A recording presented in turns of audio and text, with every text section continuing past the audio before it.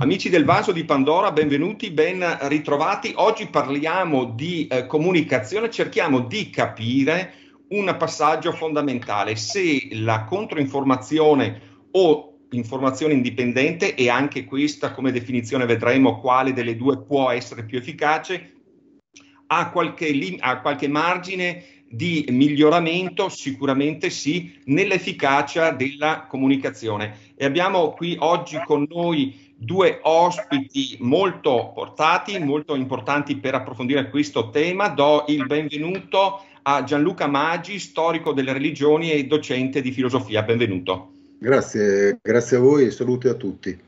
E benvenuto, ben ritrovato Davide Rossi, analista politico e scrittore. Ciao Davide. Buonasera Carlo, buonasera a tutti.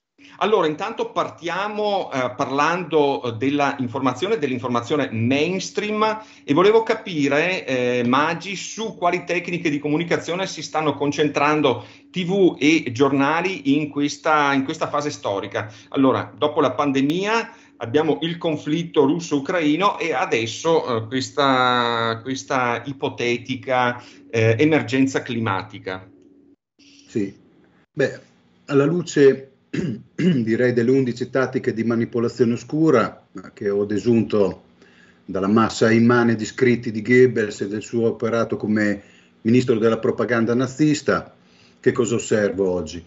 Osservo che la tecnica di comunicazione su cui si sta concentrando il mainstream dal periodo psicopandemico ad oggi è certamente il primo principio tattico, ovvero la semplificazione nemico unico che cosa significa? Significa che nello specifico il nemico unico è chi dissentiva prima dal farsi inoculare nel corpo un farmaco genico sperimentale, poi il nemico unico è chi dissente dal coinvolgimento e dall'invio di armi in Ucraina, poi il nemico unico è chi dissente dalla narrativa abborracciata sulla CO2 e sulle origini del cambiamento climatico. Intendo dire che questa tattica perfida e ripugnante è messa in atto dal sistema di dominanza e sottomissione attraverso la reiterazione della identica messa in scena dello stesso messaggio semplificato, messaggio semplificato che getta nell'olio bollente il nemico di turno che è funzionale all'occasione nemico di turno che sarà identificato con una etichetta, che sarà identificato con uno stereotipo, allora negazionista della scienza, negazionista dell'etica, negazionista ambientale e così via. Nemico unico che sarà poi perseguitato con una sorta di crociata, prima per, per deriderlo, poi per psicopatologizzarlo, poi per mostrificarlo e poi per criminalizzarlo. Avrei anche altre cose da dire, però forse... Eh, sentiamo, sentiamo un, primo, un primo commento di Davide. Mi sembra un inquadramento molto efficace, molto insomma, calzante di quello che è successo in questi anni su qual è la, lo strumento, la, la, modalità comunicativa. Io ho letto il libro di Gianluca Masi, su, è un lavoro molto interessante di, di, ricerca sulle tattiche di manipolazione comunicativa che venivano utilizzate nel Terzo Reich dal ministro della propaganda. Lo citiamo che... anche il libro che è Goebbels, 11 tattiche di manipolazione oscura, che ha una pregevole prefazione anche del celebre economista Jean-Paul Fitoussi. Esatto, quindi diciamo lì si può trovare una, una sì, potremmo dire una sinossi, comunque una... Uh, qualche modo una, una schematizzazione di quelle che sono le tecniche di comunicazione che tendono a manipolare l'opinione pubblica. E eh, non poche di queste le abbiamo viste all'opera in questi ultimi anni. E devo dire, infatti anche questo lancio a palla a te Carlo e soprattutto Gianluca, a me sembra che, come ho detto in altre occasioni, la efficacia di questa metodologia, quindi l'indicazione del nemico pubblico, del nemico unico, dell'indicazione di negazionista, perde efficacia mano a mano che si va avanti. Cioè è stata devastante con la vicenda psicopandemica. ma che ora già con l'emergenza bellica aveva perso slancio questa narrazione e, e sia decisamente fiacca, bolsa, con la questione dell'emergenza climatica. Ecco, la ripetizione dello schema sempre uguale a se stesso, perché eh, mi colpisce che il format sia pressoché identico in tutti questi tre casi che ho citato, che sono estremamente ravvicinati, anzi che sono senza soluzione di continuità. La nuova emergenza sorge, la, la nuova presunta emergenza sorge quando la precedente non è ancora tramontata. Ecco, questa reiterazione eh, in maniera pedissequa dello schema rischia di perdere efficacia, come a me sembra, oppure no? Ha perso efficacia eh, Maggi, questa, diciamo che ha un'autonomia eh, sempre più limitata? Indubbiamente sì, perché poi va ad nauseam, è una sorta di reazione fisiologica, come quando si mangia troppo cibo eh, in modo ravvicinato, anche il cibo più gustoso va a nausea e quindi anche in questo caso sta andando in una sorta di eh, nausea fisiologica. Il punto è che alla tattica di manipolazione della semplificazione e nemico unico poi si uniscono gli altri affluenti, ovvero gli altri principi tattici che sono utilizzati dalla comunicazione che manipola tanto la realtà fattuale, cioè la realtà dei fatti concreti, dei fatti reali, quanto le menti, al punto tale che si potrebbe appunto dire che le 11 tattiche di manipolazione oscura sono dei modelli anche per predire la direzione di una società democratica. Questo perché eh, mi adopero nella complessa descrizione di come accade che i governi si tramutino in tirannie più o meno mascherate e di come anche le democrazie si sclerotizzino in dinamiche autoritarie. Senta, la, avevo preannunciato nell'introduzione della nostra intervista, del nostro appuntamento di oggi, che ci saremmo eh, concentrati soprattutto sulla informazione non mainstream, no? quindi controinformazione o ehm, detta anche ecco, o informazione indipendente. Ecco. Sì. E quali sono, quali sono, secondo lei i limiti principali ehm, nella comunicazione da parte, della, da parte nostra, possiamo dire, ecco, dell'informazione, della controinformazione? A suo Beh, modo di vedere. Sì, diciamo subito che la situazione è piuttosto varie, variegata e articolata. Eh, voglio dire che mi è capitato di inciampare nell'ascolto di diverse trasmissioni di informazione cosiddetta indipendente, voglio dire che parlano tutt'altro che al cervello, anzi altre sembrano che non parlino neppure alla pancia, altre che parlano ai calcagni, nel senso che sono fatte coi piedi, per non dire che sono fatte ad mentula canis e nell'ascoltarlo arrossiamo tutti di imbarazzo per procura, insomma, perché diverse di queste trasmissioni sembrano una, un insulto involontario alla nostra capacità di comprensione.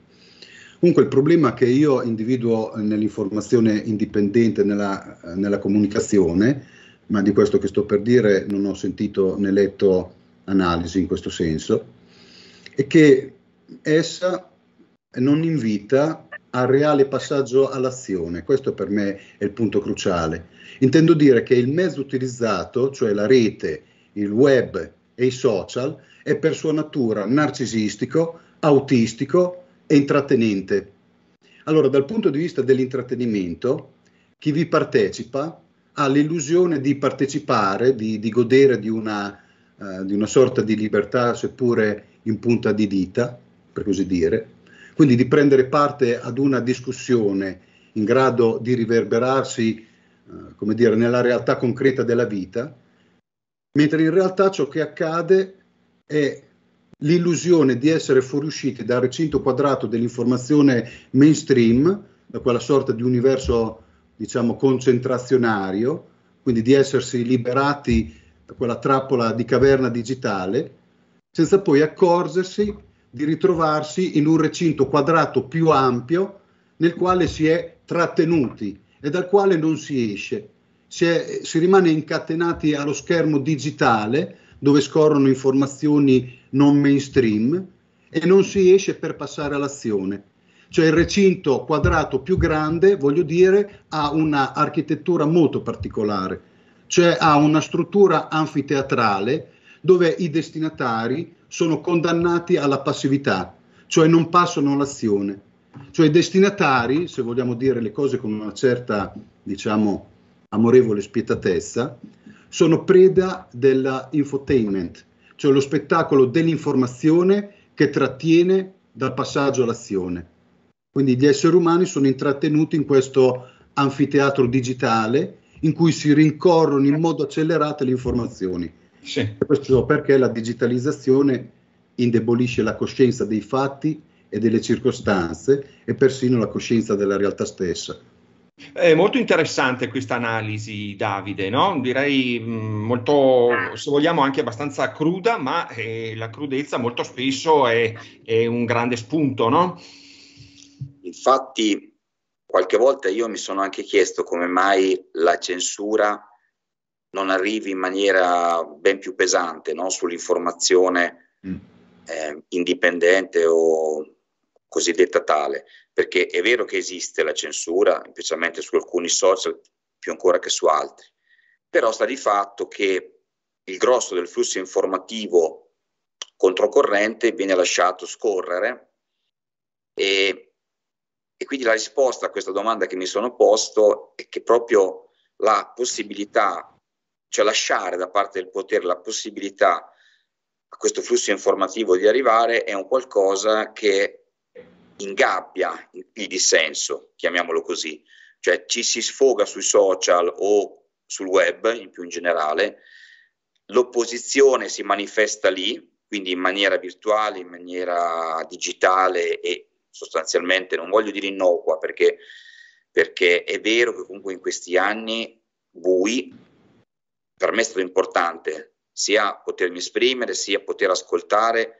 punti di vista che non erano quelli del potere ufficiale. Quindi non dobbiamo esagerare nel dire che sia inutile o castrante, però pur essendo utile, sta di fatto che il potere la lascia agire, almeno finora, proprio perché consente di incanalare il dissenso non in un'azione, come diceva adesso Gianluca, ma in un ascolto passivo eh, sul web, sul digitale e in questo modo cons- eh, non consente neppure di riunirsi quindi di fare massa critica, come si è sempre fatto di senso politico in passato, no? e che si, tutto sommato lo si faceva in modo fisico, passando l'azione, che non vuol dire ovviamente azione violenta, però vuol dire esserci fisicamente, eh, contrapporsi, vuol dire mh, eh, una fisicità, un analogico, no? come diciamo Carlo nelle ultime trasmissioni, che ha ben altra efficacia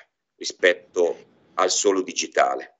Quindi credo che la motivazione per cui ancora è lasciata una discreta libertà di informazione sul web, naturalmente, non nella televisione, è anche perché ha questa funzione di incanalare il dissenso e di farlo restare dentro casa, sostanzialmente. Disattivarlo, disattivarlo già nel, nel nascere, diciamo, nella, nel divano piuttosto che, insomma, sulla, sulla scrivania.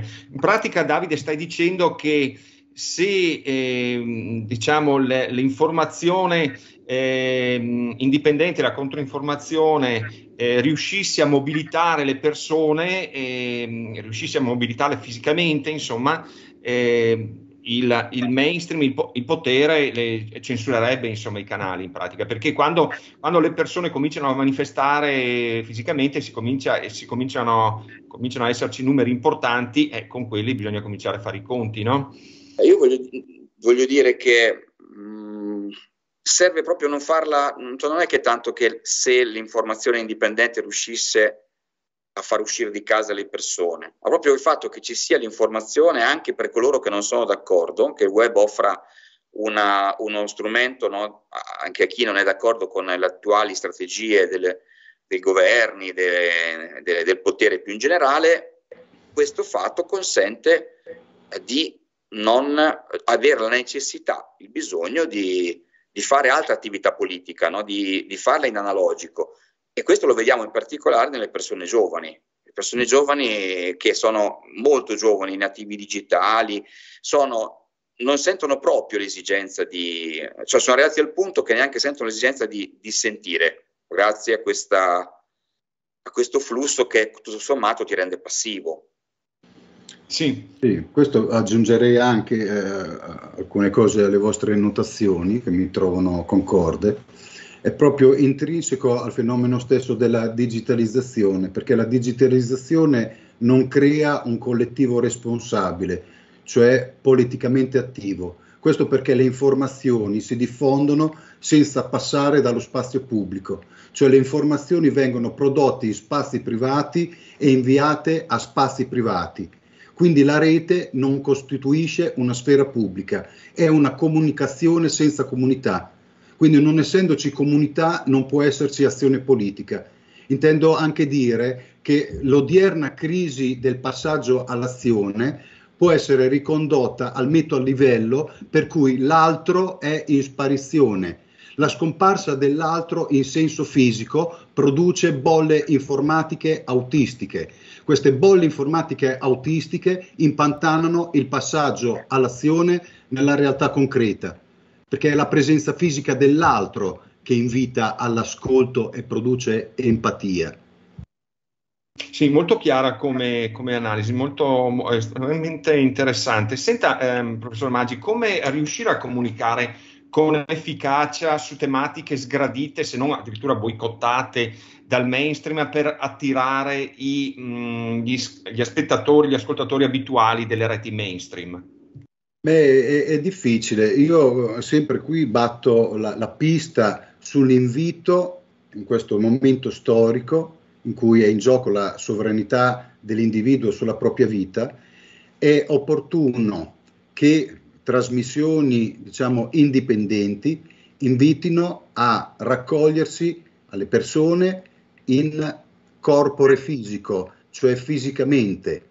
È indispensabile non accontentarsi solo dei contatti digitali. Questo potrebbe, come dire, fare anche aumentare gli ascolti delle trasmissioni di informazione indipendente, invitare a non accontentarsi solo dei contatti digitali, cioè dei contatti via schermo, perché questi contatti virtuali sono insoddisfacenti e insufficienti, perché non creano quei rapporti reali e autentici su cui noi sapiens ci siamo costruiti nel corso di decine e decine di migliaia di anni. E qui eh, apriamo quella che per me è una linea vitale cruciale e per la quale potrebbero collaborare anche le trasmissioni di informazione indipendente, ovvero noi possiamo costruire ovunque delle micro resistenze politiche, cioè possiamo costruire ovunque delle micro resistenze socio-psicologiche ed è necessario incontrarci nel mondo comune sulla terra sulla quale eh, ci troviamo sotto il cielo che si stende sopra di noi, perché terra e cielo appartengono all'ordine terreno, mentre il web appartiene all'ordine digitale. Quindi, ripeto, organizzare micro resistenze politiche in piccoli gruppi, 10, 20, 30, massimo 40 persone, perché incontrarsi sempre nello spazio iperreale digitale, magari in 100.000 persone, è illusorio e significa consegnarci mani e piedi nella dinamica della inazione oltre che del controllo, perché anche quello che stiamo dicendo qui è tutto controllato e non sono paranoico. Quindi sì, la relazione eh, digitale, e concludo, è un falso contatto e questo occorre tenerlo sempre ben presente, è un contatto inautentico. Le micro resistenze umane si possono poi sviluppare, questo in corpore fisico, come degli anelli di Borromeo, cioè molecole che si vanno a interconnettere con altri anelli di Borromeo in modo da espandere la rete di resistenza. Questo perché il futuro siamo noi a farlo e il futuro è la maniera in cui noi agiamo davanti a ciò che accade, il mondo in cui trasformiamo in verità un movimento, un dubbio e anche il dissenso. Se rimaniamo circoscritti nel digitale, ripeto, ci consegniamo mani e piedi al controllo e alla inazione. Davide, Davide Rossi. E questa è una riflessione fondamentale che tra l'altro mm. devo dire che mh, mm, probabilmente non, non, per caso una delle prime, forse la prima iniziativa culturale cui ho partecipato dopo la ah, prigion- prigionia della primavera 2020 è stata proprio un'iniziativa culturale organizzata da Gianluca Masi a Pesaro e nel ritrovarci in un qualche decina di persone a dialogare viso a viso è stato emozionante, è stato qualcosa che ha fatto percepire la differenza qualitativa fondamentale che adesso Gianluca sottolineava, no? c'è questo fatto, perché altrimenti la, la, il, cioè, il, ricordare questo è fondamentale, perché io lo vedo un po' anche su di me, il rischio è di assuefarci no? al fatto che la discussione avviene sul piano digitale e, su, su, e questo piano, pur mentre avendo una sua validità, lo stiamo usando anche noi adesso e è bene usarlo, sì. però ha dei limiti su molti piani che sono molto forti. Quindi questo invito, che era un po' che non sentivo francamente, di mm. rivederci sul piano anche in piccoli gruppi, soprattutto mm. in piccoli gruppi, e io lo vedo anche quando Gianluca mi capita di girare, ho girato abbastanza in questi anni anche per presentare i miei libri, il contatto con le persone è qualitativamente proprio di, diverso mm. e, ed è quello più sgradito mm. a, al mainstream, al potere. Quindi questo è, io credo, un richiamo mh, mm, di Gianluca assolutamente fondamentale. Sì, anche perché credo che l'incontro fisico, no? come diceva Magi anche poco fa, no? intanto in piccoli gruppi, eccetera, che ovviamente possono espandersi perché poi sono anelli che usci- eh, si uniscono al sistema di potere è una cosa sgradita perché in realtà al potere fa comodo eh, un, un, mondo digitale in cui ognuno, t- t- tanti, tanti no, eh, milioni diciamo, di atomi rimangono solitari e non, sì. e non si associano, non, non, si incontrano fisicamente. No? Questo mi sembra il, un po' il punto, il punto eh, nodale. E senta Maggi, ehm, c'è comunque in qualche modo una uh, strategia che manca nella comunicazione o c'è una strategia sbagliata nella comunicazione da parte dell'informazione indipendente? E come dicevamo prima, è difficile ehm, dire, mettere tutti quanti nello stesso sacco perché è un, l'informazione indipendente è un contenitore talmente vasto dove ci si trova di tutto, trasmissioni serie come questa a trasmissioni fatte, ripeto, ad mentula canis, cioè fatte veramente, non lo dico in italiano perché è una parolaccia. Quindi è difficile dare, come dire, eh, delle, mm, a parte quello che abbiamo detto, altri ragguagli, perché è, una situazione estremamente variegata. Sì, eh, ci sono comunque dei, dei, termini o dei temi che bisognerebbe usare nella comunicazione eh, e, e, altri che non bisognerebbe utilizzare secondo, secondo lei? Ah, innanzitutto eh, evitare di cadere nella trappola delle etichette e delle torsioni linguistiche con cui il mainstream addita il dissenso, perché anche questo ho assistito, cioè identificarsi nelle etichette di comodo e questo non porta da, da nessuna parte. Poi, innanzitutto, e eh, anche questo molto importante, utilizzare il metodo della irrisione. Oggi noi qui non lo abbiamo fatto, ma la tecnica della irrisione del sistema di dominanza e sottomissione, questo ci fa respirare ad ampi polmoni e forse può anche allargare diciamo, la sfera delle persone che possono iniziare a inserirsi in una logica, come dire, dissidente, divergente o indipendente rispetto al mainstream. Sta, sta, parlando, sta, parlando, di una comunicazione diciamo più, eh, più, leggera, meno seriosa in questo caso. Sì, esattamente il contrario di quello che io ho fatto oggi qui. Sì, ok.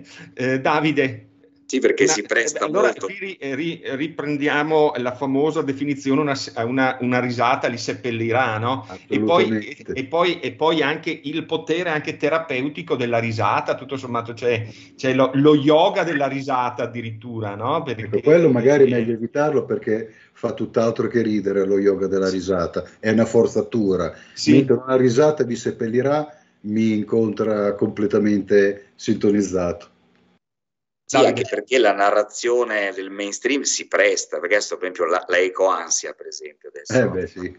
che loro ne parlano seriamente, non è che ah. dici, cioè forse magari chi studia queste strategie comunicative d'alto livello poi magari si fa delle grasse risate quando vede gli effetti di queste, di queste parole d'ordine che viene, vengono messe in circolazione, però nei programmi, nei, nei, giornali, noi le vediamo come cose serie. Per esempio io ricordo, tornando indietro a, alla cosiddetta pandemia, che a un certo punto ci fu il nome di un, se tu prendevi contemporaneamente il Covid e l'influenza, loro questa cosa la chiamavano la flurona. La flurona. Ecco, quindi io penso che quando si inventano questi nomi, si, lo facciano in un gioco ecco, irrisorio nei nostri confronti. Quindi noi dovremmo fare altrettanto perché appunto la narrazione che fanno si presta, l'eco-ansia, insomma.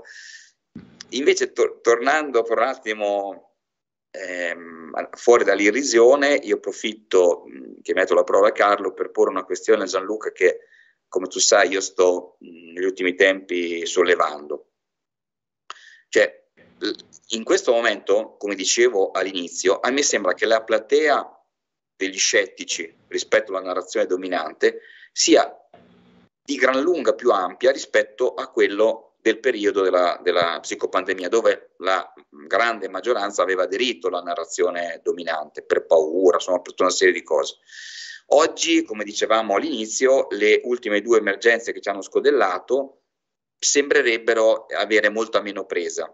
Allora, questa io la vedo come un'opportunità per noi per poter comunicare nei confronti di, una, di un pubblico che magari fino a un anno fa invece non ci dava retta perché appunto eravamo del tutto squalificati a quegli occhi. Oggi io vedo che ci sono orecchie, orecchie più attente, c'è un terreno più fertile per, comuni- per il nostro tipo di messaggio, però dobbiamo trovare strumenti comunicativi nuovi, anzi linguaggi nuovi, che uno potrebbe essere questo qui dell'irrisione che tu hai già sollevato, perché nel mondo dell'informazione indipendente, così come è stata fino ad oggi, c'è, come tu accennavi, anche una vasta area che utilizza un linguaggio, uno stile che viene considerato non a torto estremista, eh, ridicolo, complottista, eccetera. Allora, come si può intercettare tutta questa fetta della popolazione che fino a questo momento non ci ha seguiti, ma che oggi presenta un terreno fertile? È una, domandona, è una domandona, questo alla luce di quello che abbiamo detto. Cioè, eh, nel momento in cui si rimane all'interno del circuito digitale, per la struttura stessa del sistema della digitalizzazione si creano praticamente delle, delle bolle. È difficile espandere queste bolle. Per me è possibile espandere il cono d'ombra degli scettici negli incontri eh, fisici. Quindi le trasmissioni, e qui mi ripeto, non mainstream, quindi indipendenti, è, è opportuno che invitino le persone a incontrarsi fisicamente e allora il cono d'ombra degli scettici si amplierà sempre di più. Ma finché si rimane confinati nel digitale, le chance rimangono, rimangono estremamente poche, perché il digitale è costruito secondo un certo modo, ovvero autistico, narcisistico e intrattenitivo, e non se ne esce, è proprio la, la struttura intrinseca del digitale laddove vogliamo fare una meta-analisi, è anche, proprio il mezzo. Certo, anche perché, anche perché l'informazione mainstream e l'informazione indipendente hanno obiettivi opposti, nel senso che il, al mainstream eh, sta benissimo che le persone se ne restino a casa non si aggreghino se non per andare a vedere le partite, le partite di calcio, no? Quello va benissimo, più ce ne sono meglio è, però ecco, per loro va benissimo, mentre eh, per, per, chi è alla ricerca eh, della verità e vuole invece eh, ha degli obiettivi diversi di informare veramente, eh, è quello il punto, ha interesse che le persone si associno. Quindi sì, so, sono, proprio, sono, proprio, gli scopi che sono diver, divergenti. Sì, divergenti. Esatto. Al mainstream ben, la situazione sta benissimo così come mi sembra di capire, no? Sì, Giusto? Sì, esattamente.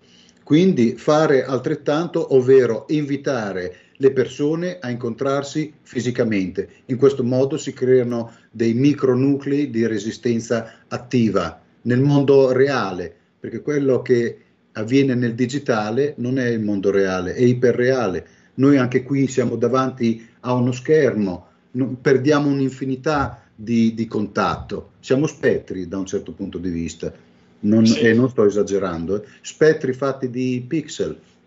Senta, e comunque una uh, narrazione, un'esposizione ironica, ehm, eh, aiuta, quella aiuta, aiuterebbe moltissimo in pratica, aiuterebbe anche a, ad, um, ad, avvicinare eh, un nuovo pubblico, ampliare la platea di ascoltatori in pratica. Indubbiamente sì, perché in qualche modo è a sua volta una, una tattica, diciamo, contromanipolativa. L'ironia perché, e la risata avvicina, insomma, le persone, ecco. Sì, perché nel momento in cui se si osserva che cosa succede quando si sorride, si osserva che i propri occhi si umettano, si inumidiscono, quindi si diventa più porosi verso l'altro, si diventa più ricettivi dell'altro rispetto a un'esposizione noiosa come quella che io ho fatto quest'oggi.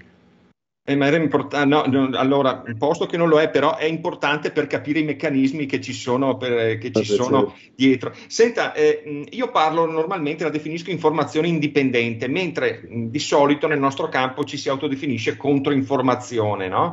E, allora è anche importante l'uso dei termini, no? Beh, sì, certo. perché i termini, i termini, creano la percezione anche della realtà. Sì. Lei come che, che, sensazioni, che, cosa pensa dei due termini, informazione indipendente e controinformazione? Beh sì, come dire, informazione indipendente è certamente più elegante che controinformazione, però questi utilizzi, insomma, eh, entreremo in discussioni tipiche del marketing.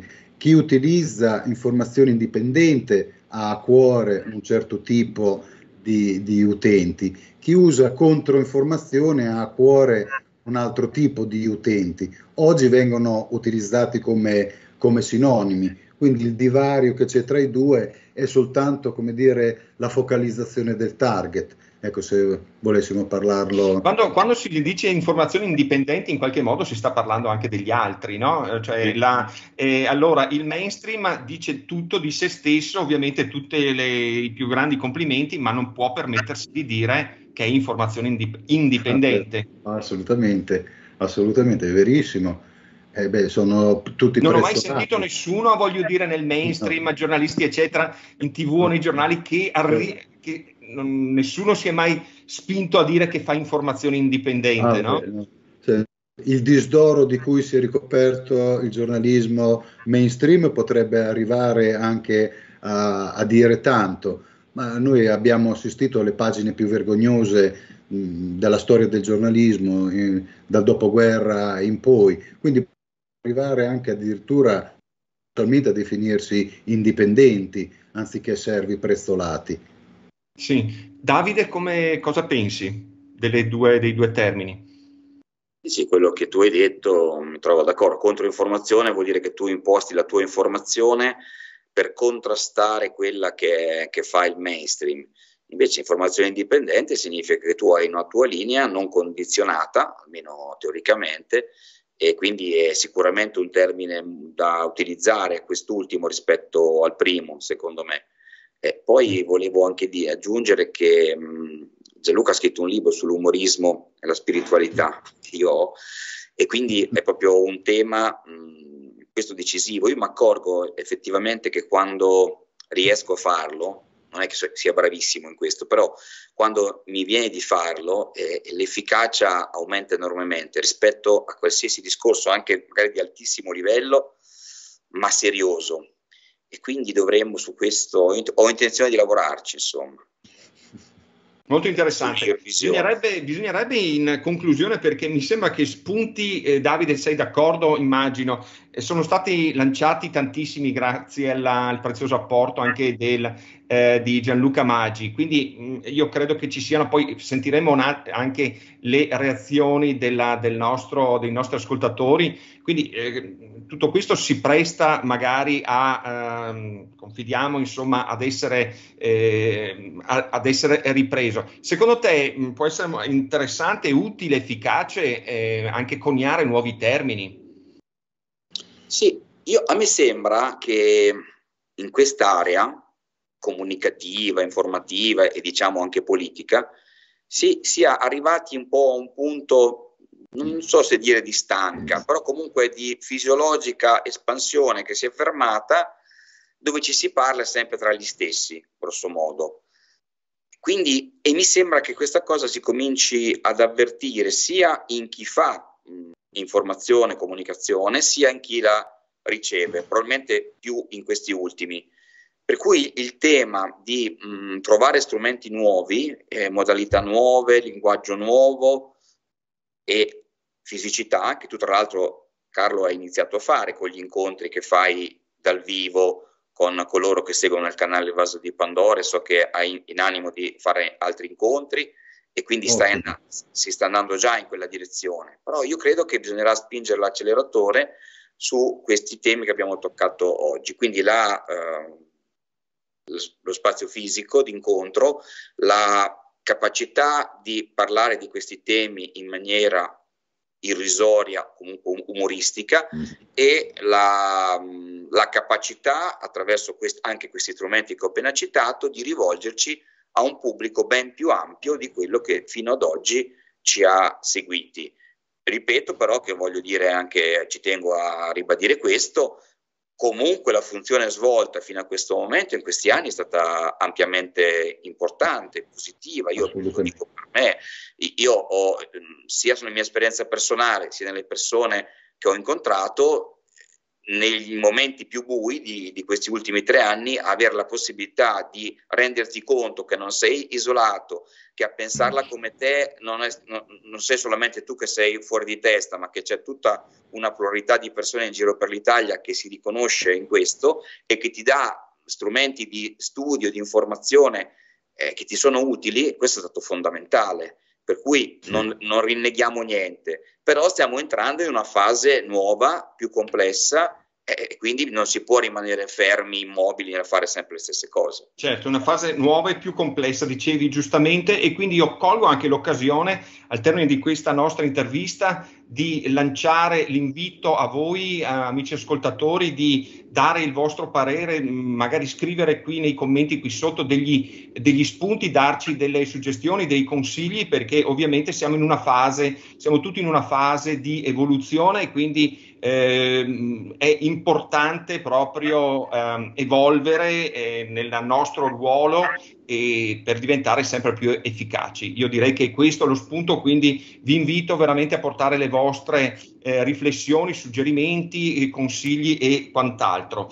Eh, se avete trovato questa nostra intervista interessante, pensate che il nostro lavoro sia utile per la vostra informazione, allora supportateci con vostra, eh, una vostra donazione. Vi ricordo che eh, potete eh, abbonarvi, scegliere come sostenerci con un bonifico bancario libero oppure potete abbonarvi al nostro canale tramite la piattaforma Patreon che vi dà accesso a contenuti extra in esclusiva. Nel testo qui sotto eh, trovate i link per scegliere quale delle due modalità eh, preferite. Eh, vi ricordo che il canale eh, nostro, il vaso di Pandora, è demonetizzato da due anni e mezzo da YouTube e pertanto il vostro supporto è fondamentale per noi per esistere e per fare evolvere il vaso di Pandora. Siamo in chiusura, io ringrazio molto per il prezioso contributo, è stato un piacere per questa prima volta e confido di, eh, di ritrovarlo qui nuovamente. Eh, Gianluca Maggi, storico delle religioni, docente di filosofia, grazie.